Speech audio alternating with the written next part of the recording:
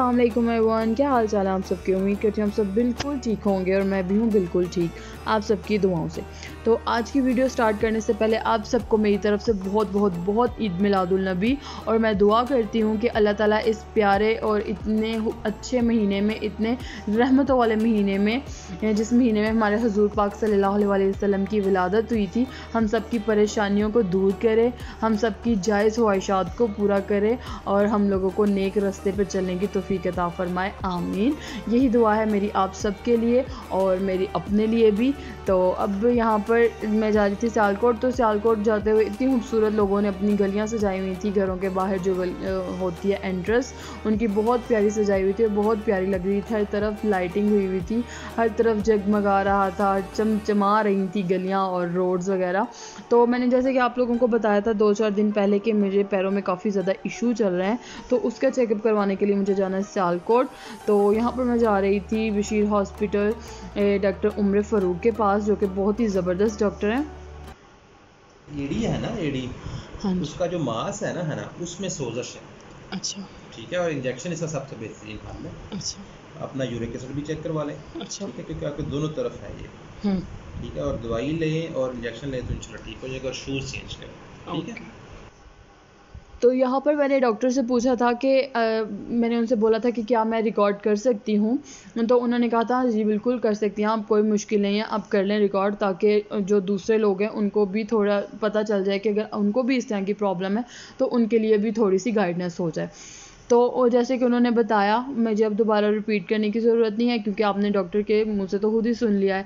तो यहाँ पर वो इंजेक्शन तैयार कर रहे थे मेरे लिए, और बस ये था कि मुझे काफ़ी ज़्यादा उनको मैंने, उन, उनसे मैंने पूछा था कि मेरी देवरानी है ना जो, उनको भी सेम यही यही इशू है।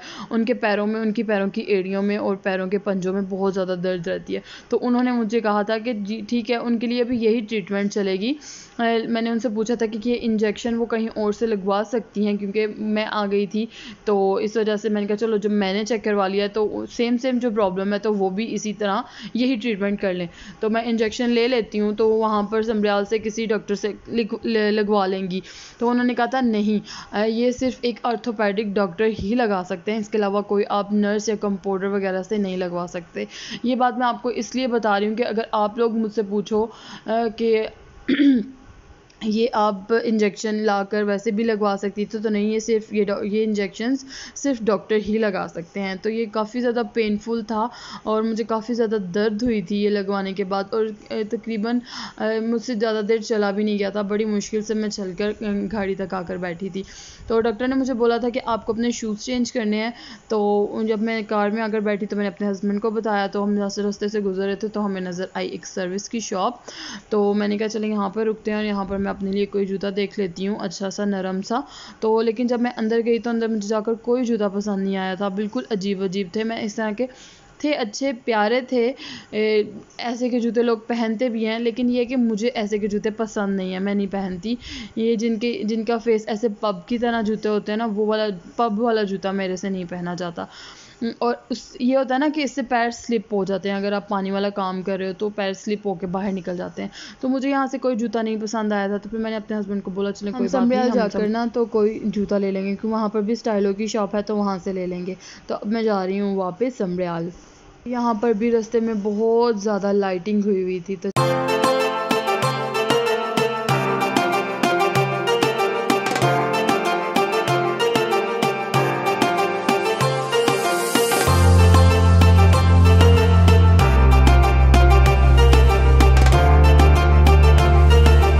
यहाँ पर आ चुकी हूँ मैं अपने प्यारे समरे आल में। समरे आल में? नहीं, समरे आल आ चुकी हूँ वापस। तो हमारे समरियाल भी बहुत ज़्यादा लाइटिंग हुई थी। वैसे हर तरफ़ ही आज लाइटिंग हुई हुई थी, हर किसी ने लाइटिंग करवाई थी। और ये मस्जिद है, बिलाल मस्जिद हमारे समरियाल में बहुत बड़ी मस्जिद है। तो यहाँ भी बिल्कुल हर तरफ़ लाइटिंग ही लाइटिंग थी और हर तरफ़ जगमगा रहा था। बहुत प्यारा लग रहा था। आज का व्यू तो बहुत ही प्यारी लग रही थी रोड्स दिल ही नहीं कर रहा था कि घर जाएँ, बस दिल कर रहा था यहाँ पर घूमते फिरते रहें। तो यहाँ पर फिर मैं ने आई बेकरी अजवा बेकर्स आई थी तो वहाँ पर मैंने कहा चलो आयशा आमना और हादी के लिए कुछ ले जाती हूँ। तो उनको कपकेक्स बहुत पसंद है तो फिर मैंने कहा उनके लिए कपकेक्स ले लेती हूँ। और अपने लिए मैंने पेस्ट्रीज़ ली थी और अम्मी जी और अबू जी के लिए भी पेस्ट्री ली थी। और सना के लिए भी मैंने यहाँ से पेस्ट्री ली थी। यहाँ पर काफ़ी ज़्यादा वैरायटी थी में क्या कहते हैं, ओहो, एक तो बोलते बोलते दिमाग में नहीं आता लफ्ज़ तो कुछ काफ़ी ज़्यादा वैरायटी थी यहाँ पर। उसके बाद मैंने यहाँ पर जो मुझे सामान लेना था वो मैंने लिया और मैं आगे वापस क्योंकि आज तो मैंने इंजेक्शन भी लगाए थे पैरों पे। पैरों में भी काफ़ी ज़्यादा दर्द थी और मुझे आज घर जाकर बनानी थी खीर और वो भी थोड़ी खीर नहीं बनानी थी, मुझे ज़्यादा खीर बनानी थी। तो यहाँ पर शुरू करते हैं खीर की रेसिपी लेकिन खीर की रेसिपी शुरू करने से पहले मैं आप लोगों को बता दूँ कि अगर आप लोग मेरे चैनल पर न्यू हो तो मेरे चैनल को कर दो सब्सक्राइब और और और मेरी वीडियोज़ को करो लाइक शेयर और सब्सक्राइब करो मेरे चैनल को। और बस इतना ही कहना था और बस कर दो कर दो कर दो कर दो। और यहाँ पर मैं शुरू कर दिया है अपना खीर बनाने लगी हूँ। और खीर बनाने के लिए मैंने दूध को उबालने के लिए रख दिया। मेरे पास दस किलो दूध है, उसको मैंने उसको मैंने उबालने के लिए रख दिया। और उसके अंदर मैंने शामिल किया एक कटोरी चावल, जिसको मैंने साफ़ करके दो दिए। और इसी दूध इसी दूध को उन चावलों के अंदर डाल के मैंने ग्राइंड कर लिया था। जब ग्राइंड कर लिया और उसको तकरीबन पकते जब दस पंद्रह मिनट हो गए थे तो उसके अंदर मैंने डाले थे इलायची। इलायची को मैंने अच्छी तरह से कूट लिया था। अगर आप ऐसे ही इलायची डालेंगे तो इतनी अच्छी खुशबू नहीं निकलेगी।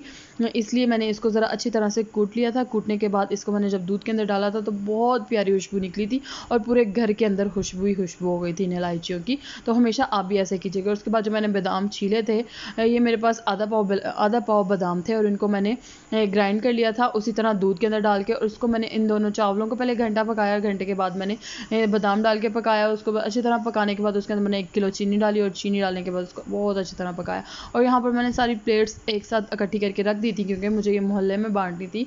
और ये मैंने बांटने के लिए बनाई थी और इसी नीयत से बनाई थी कि अल्लाह ताला मेरी मेरी जो नीयत है, जो मेरे दिल के अंदर नीयत है, वो उसको उसको कबूल करे और मेरा आप सब की तरफ़ से भी यही तोहफ़ा था, ये मेरी और आप सब की तरफ़ से अल्लाह की राह में मैंने बांटा लोगों में। और बस इसी तरह से मैंने जो यहाँ पर रखी थी शेल्फ़ पे, और अब हो चुकी है सुबह, और सुबह के वक़्त मैंने नमाज़ पढ़ी, नमाज़ पढ़ने के बाद कुरान पाक पढ़ा। और आप लोगों को मैंने बताया ही था कि नमाज़ बनाते हुए मुझे वीडियो बनाना अच्छा नहीं लगता, फिर ऐसे लोग कहते हैं कि पता नहीं क्या नमाज़ पढ़ी और शो ऑफ़ करी है। तो इस वजह से मैं थोड़ा कोशिश करती हूँ कि मैं ना इस वीडियो ना बनाऊँ। लेकिन उसके बाद मेरे दिमाग में एक और बात आती है कि शायद मेरे नमाज़ पढ़ने से शायद किसी और के दिल में ख्याल आ जाए नमाज़ पढ़ने से और मुझे इसका स्वाब मिल जाए।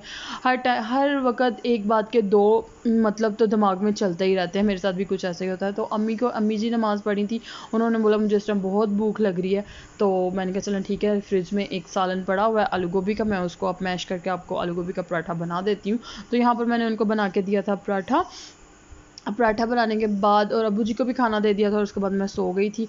और जब मैं सो के उठी थी तकरीबन ग्यारह, साढ़े ग्यारह, बारह बजे के बाद तो मुझे बांटनी थी ये मोहल्ले में प्लेट्स जो मैंने सब घरों के लिए बनाई थी।